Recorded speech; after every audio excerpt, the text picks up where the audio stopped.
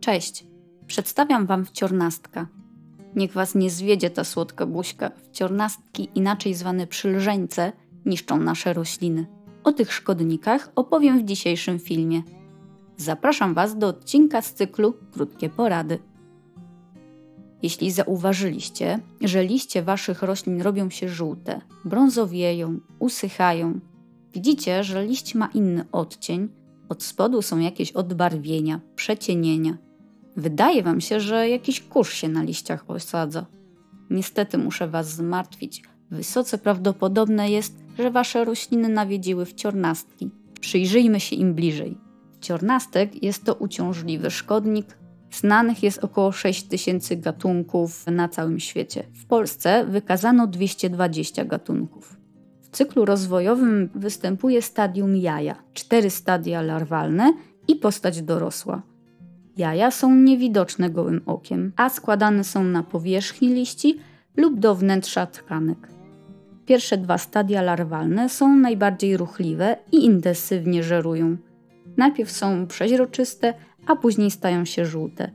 Larwy w dwóch kolejnych stadiach nie poruszają się i nie żerują. Są barwy białej i mają zaczątek skrzydeł.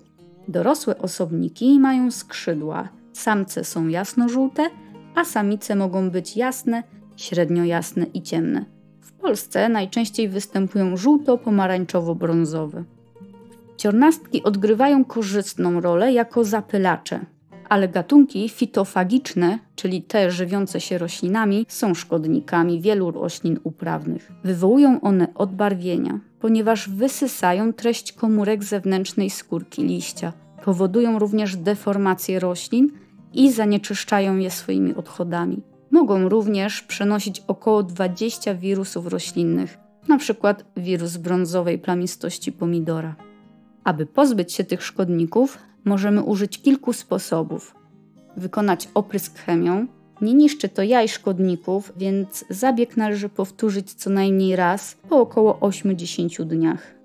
Ponieważ mamy do czynienia z chemią, oprysk powinien być wykonany w dobrze wentylowanym pomieszczeniu.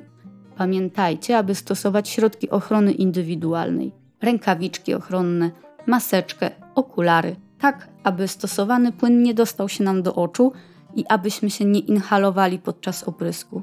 Rośliny zostawiamy do wyschnięcia i później możemy je z powrotem ustawić na parapecie bądź regale. W walce z wciornastkami pomogą również dobroczynki. Po wykonaniu oprysku można je zastosować. Dobroczynki to roztocza, które żywią się szkodnikami.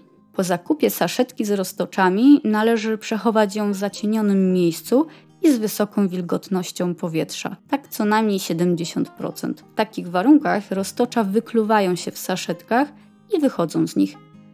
Ja swoje roztocza umieściłam w witrynie, gdzie po kilku godzinach miałam już chodzące robaczki, które szukały wciornastków do skonsumowania. Dziękuję za oglądanie. Miłego dnia. Cześć.